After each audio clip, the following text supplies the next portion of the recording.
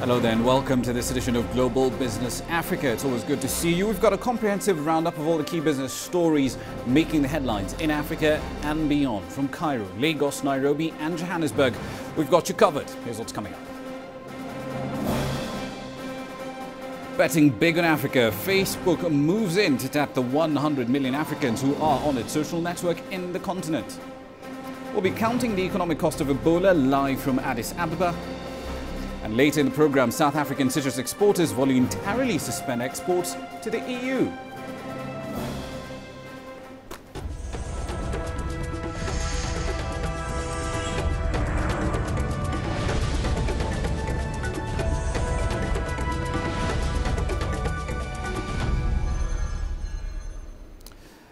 We start tonight in the digital realm where Facebook says one out of every 10 Africans logs into their network every single month. And that essentially presents a new target audience for advertisers on the continent. Of those estimated 100 million people, 80% access the platform through their mobile phones. According to a study by Ericsson, a Swedish multinational provider of communications technology and services, at least 7 out of every 10 African consumers get online through their phones, and that's compared with 6% who use desktop computers. Industry observers say Facebook is pouring more resources into Africa to understand how consumers here use the, the, service, and it will likely open an office on the continent in 2015. Facebook is also customizing products to fit the needs of individual African countries, like targeting users based on their internet speeds. The Investment Corporation of Dubai, ICD, the main investment arm of the Emirate of Dubai, has agreed to buy a $300 million stake in the top Nigerian cement producer, Dangote Cement. Dangote's current market cap is about $23.7 billion, and that essentially means ICD is taking a position of about 1.3% in the company. Dangote Cement is the biggest listed firm on Nigeria's stock market and it controls about two-thirds of the cement market in the country. Plans to expand production capacity from about 35 million tons a year to over 60 million by 2018 as it grows domestically and across 12 other African states.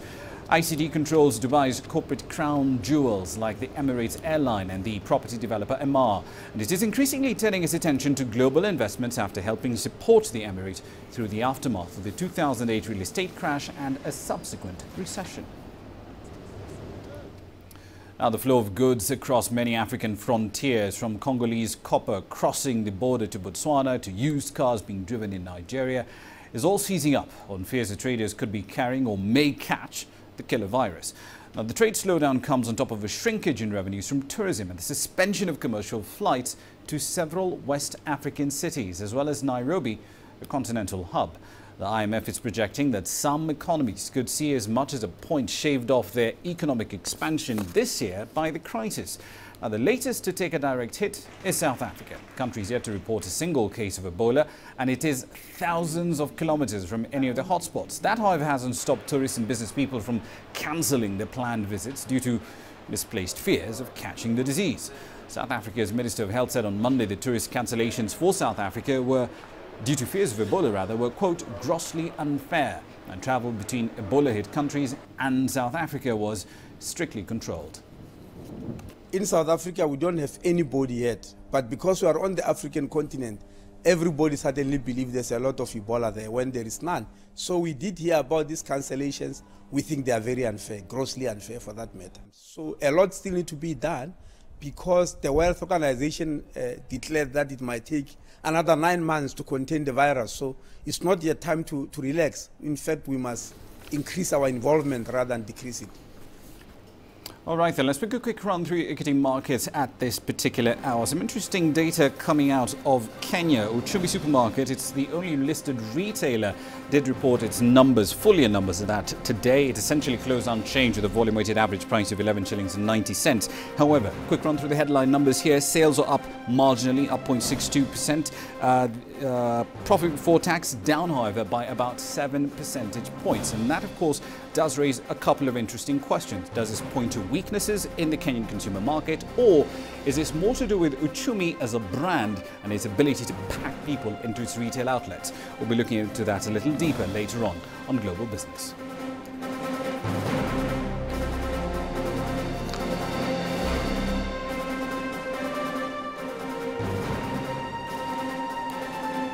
When we come back, South Africa citrus exporters voluntarily suspend exports to the EU. We'll tell you why. And Kenya's electricity consumers have been hit by a surge in Kenyan power prices. We'll be live in studio with ERC explaining why that happened. Africa is on the move. It's home to seven of the world's 10 fastest growing economies. We help you make sense of the fast changing African business landscape. We take you where the business is happening. Global Business, weekdays at this time on CCTV Africa. The rebasing of Nigeria's GDP has been a long time in coming. The information provides us much more scope to know what the, the structure of the economy is.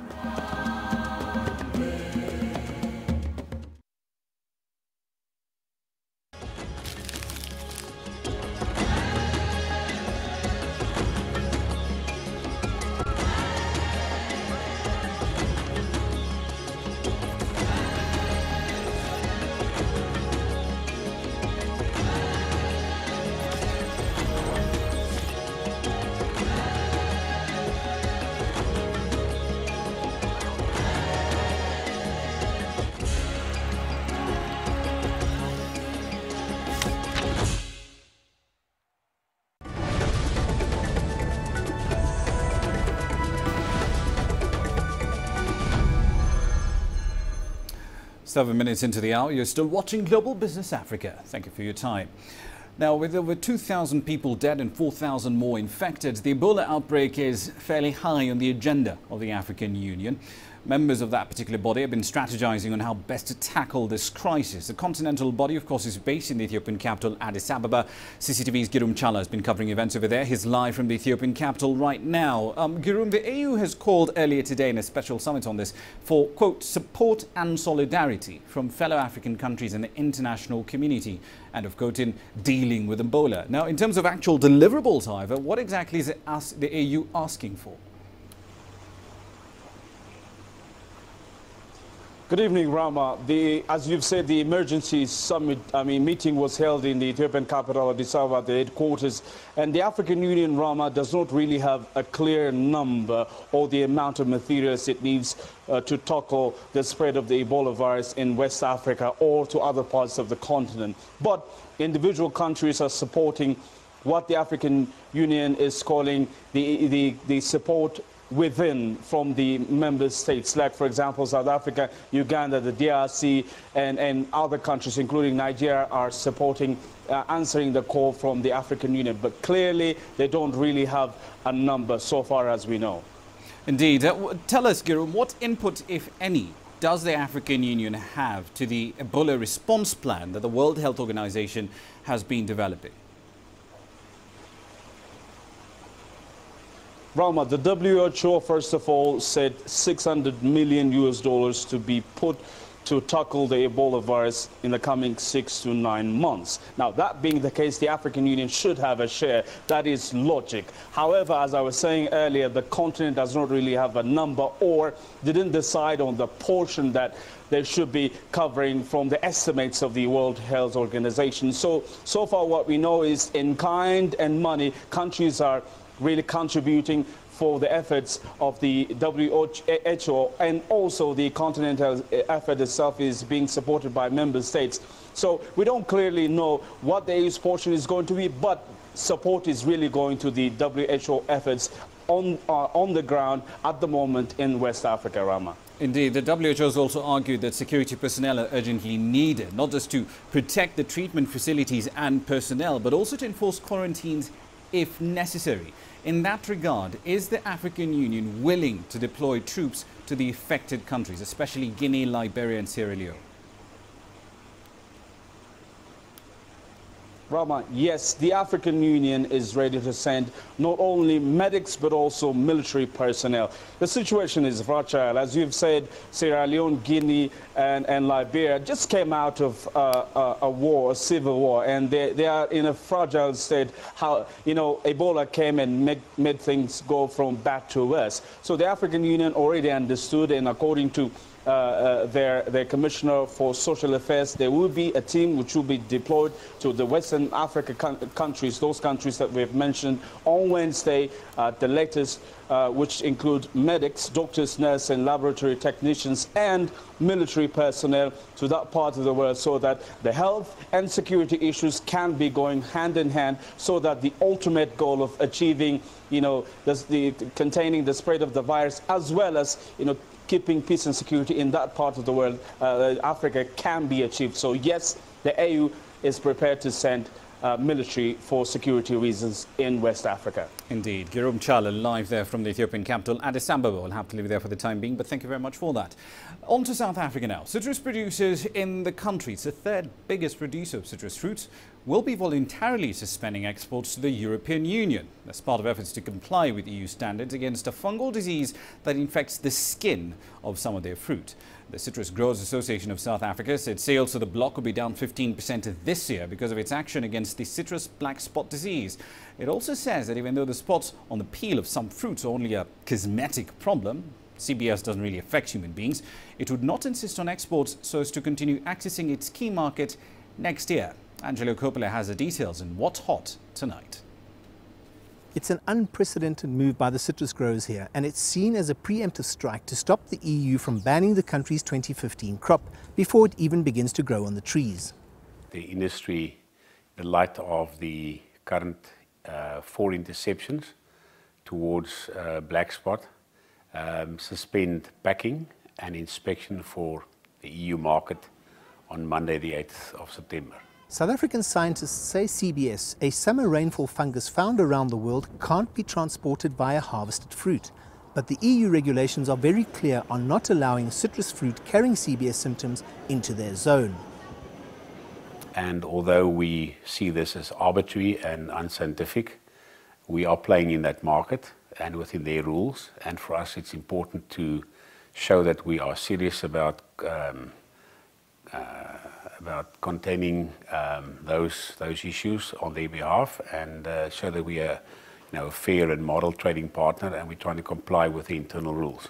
According to the CGA, just 0.1% of all exported citrus into the EU has shown some symptoms of CBS, something that South African experts say is a negligible amount. Whether the EU is going to accept South Africa's attempt at trying to manage itself and the CBS issue remains to be seen. In the meantime, half of the crop in citrus is sitting in South Africa looking for a market to go to. I'm Angelo Coppola for CCTV. And Angelo Coppola joins us now live from Johannesburg, South Africa, as does Jack Barton. He's live in Brussels for us tonight. Gentlemen, thank you. Jack, let's start with you. The EU envoy of the Citrus Growers Association in South Africa has questioned the evidence backing the EU's finding of four shipments with citrus black spot. Has there been any response from the EU on this? We haven't had a, a, response from the EU on this latest development, but we have had statements recently from the EU saying that they do believe that this, this is still an issue and that citrus black spot or CBS can be transmitted. But there's a lot of criticism here in Europe, uh, not just coming from the uh, Brussels, but also from national governments like Britain. They say, yes, know, perhaps it is transmittable, but only in temperate zones, only in the same sort of areas where these fruit would grow. And the fruit from South Africa, uh, which accounts for about a third of all of Europe's imports, are going into juice in countries like Britain, Germany, and France, all northerly com- uh, countries where this is thought to be not an issue. And above and beyond that, of course, they're going straight to factories where they're being turned into juice. So it's in a controlled environment. And governments, particularly the British government, have been saying so this is clearly not an issue and this shouldn't apply to South Africa. Uh, but this is an EU restriction. This is not something, of course, that the national governments have a say over. All 28 have to disagree or, uh, or agree, and this takes a lot of time and a long process, and the EU is still sticking by this restriction. Indeed. Angelo, with this suspension in place now, what happens next? Can formerly EU-bound fruit head for other markets around the world? Well, Raman, at the moment, there are lots of floating consignments on their way to the EU. Those are still going to be checked and they're going to be monitored. And if there's any black spot or symptoms of black spot found there, they're going to be added to the tally. They're going to be tagged, in other words. But um, for, for fruit that's in South Africa at the packing houses or in the holding warehouses in the country, they're going to be looking for markets to go and sell that um, citrus to. And the CGA tells me that this is where they're going to be focusing for, for the short term now. Coincidentally, President Zuma was in Russia recently, and it's quite possible that Russia would be interested in South African citrus fruit as their borders are closed to European fruit at the moment.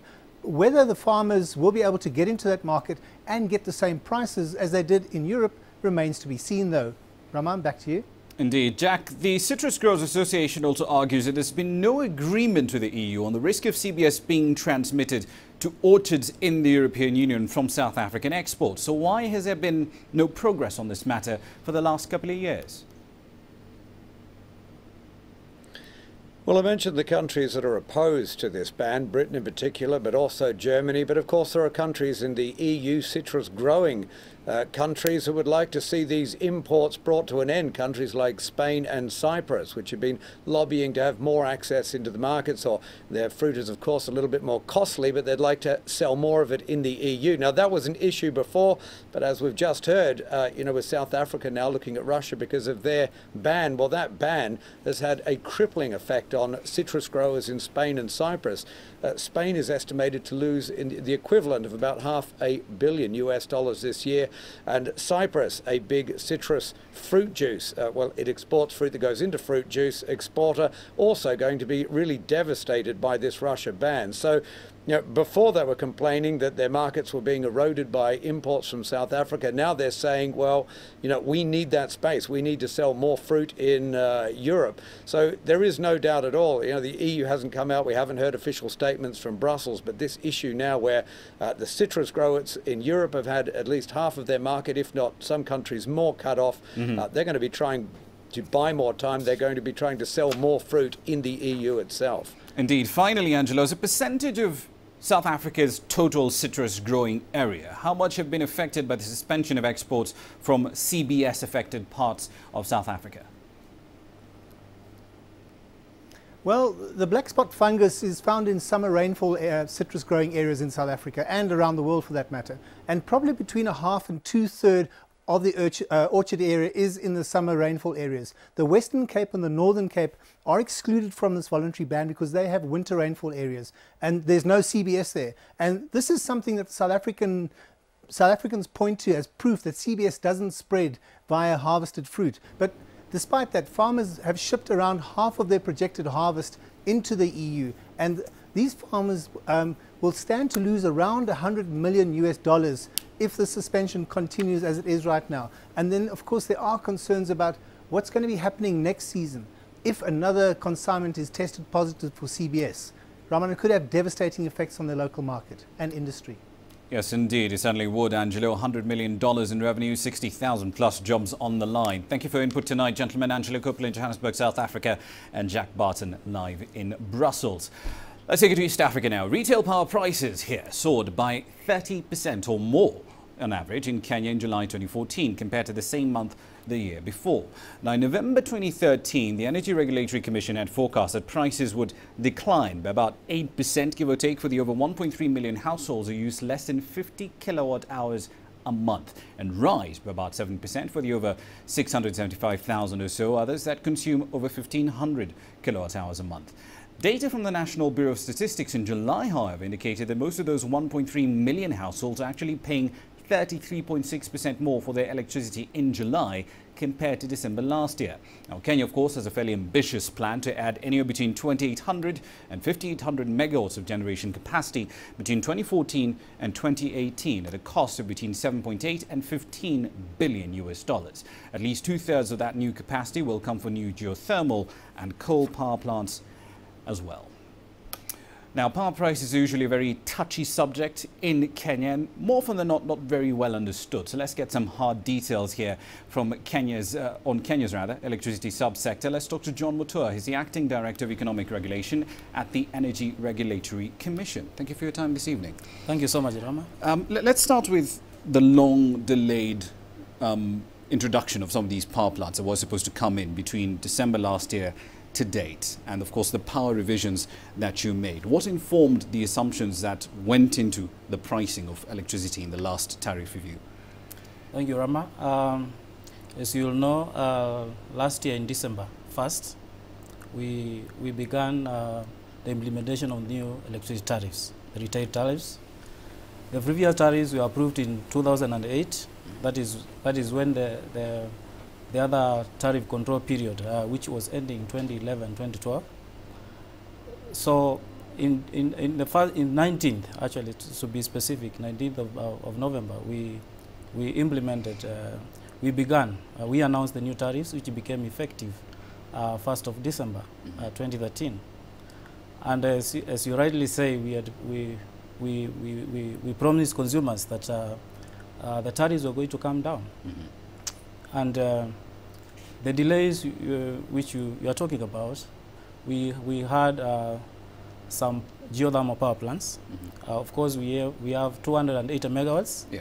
Uh, Let, us just get that clear for our viewers. There was about 280 megawatts that were supposed to come online Yeah. in geothermal power. Yes, before And June 2014. Before June. And how much of this actually did come online before June? As we talk right now, we have uh, KenGen has already commissioned 140 megawatts, which is now the consumers are benefiting at a very low cost of 7 US cents per kilowatt hour. And this is actually providing a relief for, uh, for, for the fuel cost because uh, from this month going forward, are going to see the power bills coming down by maybe 10%, 8%. Right. Let's. For a lot of people who've been looking at their power bills across Kenya, the argument is, my power bill's tripled, or my power bill went up by a crazy amount of money. If you were to explain to them what happened, how would you explain it to them? What exactly happened? Why did power prices go up by 30% plus all the way up to July? Thank you. Um, when we announced the new tariffs, uh, we had forecasted the, that the fuel cost charge was going to, on average, was going to be about 5, 5.19 Kenya shillings per kilowatt hour. Uh, of course, there were going to be variations, but that was to be the average up to June 2014. Now, what happened is that uh, uh, around March, we were expecting the long rains, uh, normally which begin uh, March to June. But uh, I mean, I mean, even from the weathermen, uh, you know, the, the rains indeed failed. And uh, that's the time we realized that uh, we needed to do something because, again, we have to conserve the water. Because the water is electricity, like the water in the dams, because about 40, about 50% of our power is from hydro. So the way we manage the water levels in the dams is very critical to manage, managing uh, the fuel cost in the long term. Uh, so what we did was uh, uh, around May, that is May uh, this year, we went to the to the to the press and um, uh, made it aware to consumers that uh, we were going to increase the fuel cost charge to 7.22 uh, Kenya shillings per kilowatt hour. The reason being, uh, we wanted to to to, to, to actually uh, if uh, because of the delayed uh, rains, uh, we had we had to run uh, we had to run the, the the other alternative power that is uh, uh, thermal power plants. Yeah. So we had to increase the, uh, that time to increase the power uh, the fuel cost by 7.22 cents to cover for that. All right. Unfortunately, we'll have to leave it there for the time being, but I thank you for your time this evening, sir. Okay. That has been uh, John Mutua. He's the Acting Director of Economic Regulation at the ERC, Kenya's Energy Regulatory Commission, with us here live in studio. Now, speaking of commodity prices, let's make a quick run through that lot. Not much of a development across the board. Crude oil, however, fairly interesting developments here. Um, off the back of weaker data from the US and China, Brent crude has dropped below $100 a barrel for the first time in quite a few months. Fairly interesting times we certainly live in. We'll keep tabs on that and plenty more right here for you on Global Business Africa. Let's take you to Zimbabwe. At its peak, that country's motor vehicle assembly industry produced about 20,000 vehicles a year. That's roughly half of the market's demand, and it employed some 10,000 people directly and lots more indirectly. That, however, was a decade and a half ago. Today, the market has been flooded, as has been the case elsewhere across sub-Saharan Africa, by second-hand imports, mainly from Japan and the UK. And local assemblers now being pushed to the brink of extinction. From Harare, here's Farai Mwakutuya. In the heydays, one in every three cars on Zimbabwe's roads was locally assembled. I'm in downtown Harare at one of the parking lots to put that theory to the test and find out what the numbers are today.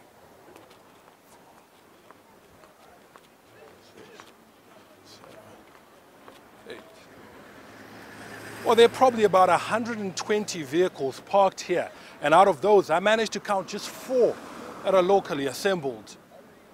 It's a reflection of the hard times. Willowvale Mazda Motor Industries is one of the biggest casualties. This factory once housed more than 850 employees and churned out 40 vehicles a month. But today, the machines have fallen silent. The company blames government policy, which lowered duties on both new and second hand imports, rendering local players uncompetitive. They have been overrun by used car dealers that have mushroomed everywhere.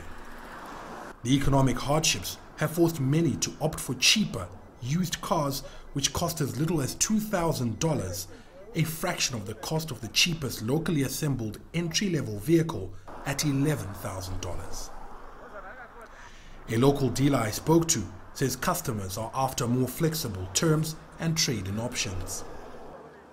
A farmer, somebody from Toko, there, you, would come, you want to buy a car, you want a car maybe for, for, for, for 4000 and uh, you come here, he's saying, no, i have got $1,500, and but I've got uh, kettles there at, at, at, at, my home. And then we can uh, value those kettles, and then we know we'll take to the uh, people from who have got some butcheries and uh, who run the cars the cows. They'll we'll just evaluate, then we'll take the, we'll complete the transaction. Willowvale wants government to come to the rescue by banning imports, as was done in neighboring South Africa. We have to do the same, otherwise, we, we you know, we might, might, as well forget about this, uh, uh, the, the motor industry here in Zimbabwe. We just become shopkeepers. They've found an ally in a pressure group that is agitating for local procurement, starting with government. There is a bit of traction on the government side. Like you know that the government had to, after, after we made quite a bit of noise about the decision to buy uh, parliamentarians uh, Ford uh, Rangers from South Africa, a government realized its own responsibilities, and now they then issued a directive to all parastatals and government departments that they must procure locally assembled vehicles. A ban on imported vehicles could have some unintended consequences. Government revenue is likely to take a hit from a loss of duties charged on more than 60,000 grey imports per year. But it's a bitter pill worth swallowing. There's no gain without pain, you know, right? We're going to have to endure some, some pain if we want to see um, uh, something good happening in our country. Farai Mwakutuya, CCTV, Harare, Zimbabwe. Just before we tell you what we have in the oven for you tomorrow, quick run through the currencies here for you. The South African Rand is our main area of focus. It weakened in trading on Monday and it might get hammered again tomorrow. That entirely depends on the sort of data we get from the South African Reserve Bank on second quarter current account deficit data. If it's more than expected, expect the figures you're seeing on your screen right now to head south.